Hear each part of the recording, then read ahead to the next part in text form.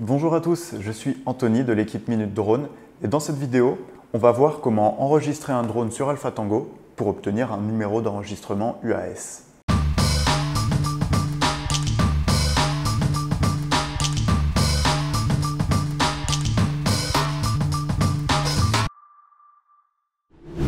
Ça y est, vous avez votre tout nouveau drone, mais avant de pouvoir l'utiliser, il va falloir le déclarer sur la plateforme Alpha Tango. Suite à ça, notre drone va avoir un numéro d'enregistrement qu'il faudra bien faire apparaître sur le drone. Et vous verrez, tout cela est déjà obligatoire. Et ça va surtout l'ajouter à votre liste d'aéronefs afin de pouvoir le sélectionner quand vous déclarez un vol pour une mission.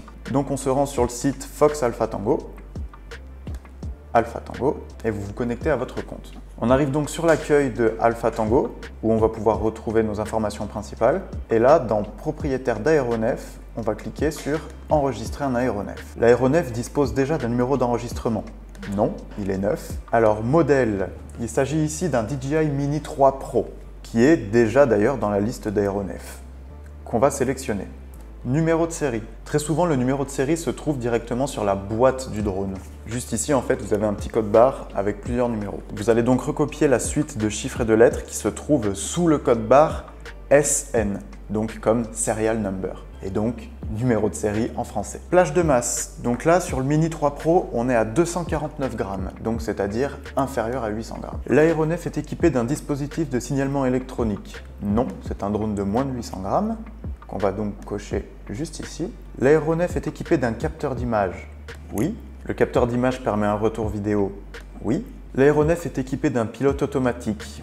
Eh ben oui, en soi, parce qu'on a des modes de capture vidéo qui sont automatisés. Donc euh, c'est-à-dire que le drone peut évoluer de manière automatique euh, dans, l'espace. quoi. Et donc là, ça nous amène tout de suite à notre liste d'aéronefs où on voit que le Mini 3 Pro a bien été ajouté. Il est maintenant temps de coller l'étiquette d'identification sur votre drone. Si vous avez suivi votre formation chez Minute Drone, vous avez dû recevoir cette étiquette sur laquelle il faudra marquer votre nom ou le nom de votre entreprise, un numéro de téléphone sur lequel on peut vous contacter, le numéro d'enregistrement du drone et enfin votre numéro d'enregistrement d'exploitant UAS.